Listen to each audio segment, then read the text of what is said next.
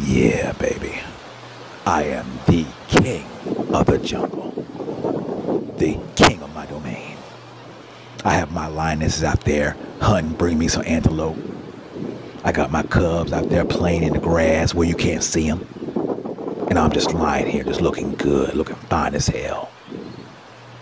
Right now, I'm gonna let this wind blow through my mane because it just feels so good. Yeah, I love it. I love it. Don't have to do damn thing. I let everybody else do things for me because that's how I roll.